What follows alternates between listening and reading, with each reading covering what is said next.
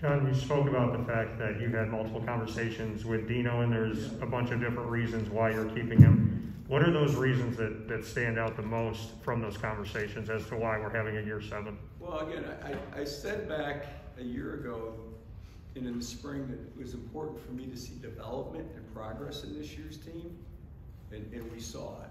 And again, we saw it the defensive side of the ball, and you saw, you know, still relatively young defense. Now we do have to replace, replace our three starter defensive linemen, uh, but we've got a young defense, we made great strides there.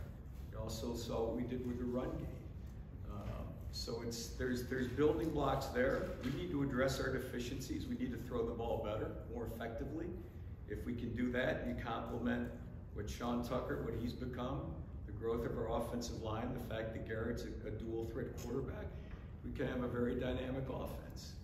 Um, and we need to obviously we need to address special teams. Special teams were they were an issue this year, and we're gonna we're gonna as I said we're gonna deal with those issues and confront our deficiencies head on.